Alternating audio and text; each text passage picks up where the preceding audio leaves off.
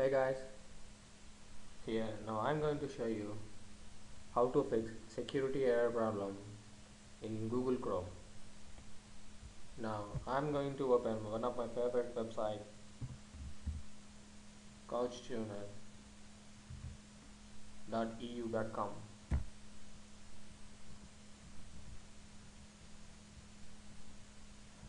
Here it's displaying this site. I had contain harmful programs attackers something blah blah blah blah.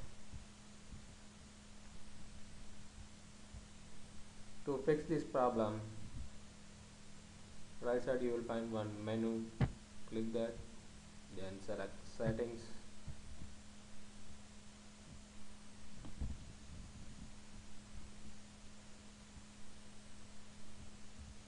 In the settings you will find show advanced settings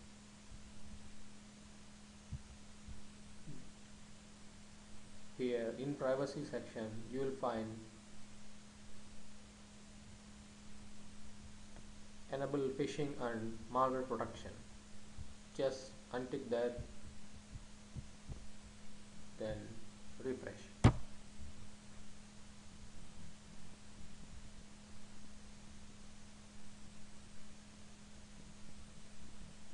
That's it